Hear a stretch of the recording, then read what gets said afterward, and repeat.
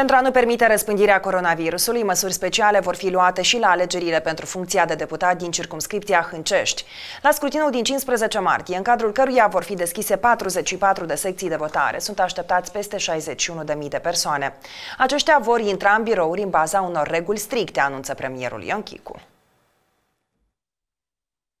În strictă colaborare cu Comisia Electorală Centrală, cu Comisia din Hâncești, s-a luat decizia de a, de a veni cu măsuri adiționale de siguranță pentru cetățenii noștri care vor vota duminică.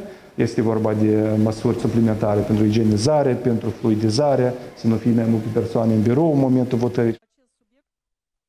Funcția de deputat în circumscripția uninominală numărul 38 a rămas vacantă după ce Alexandru Botnar, candidat al Partidului Democrat, și-a depus mandatul în decembrie 2019 pentru a reveni la șefia primăriei din Hâncești.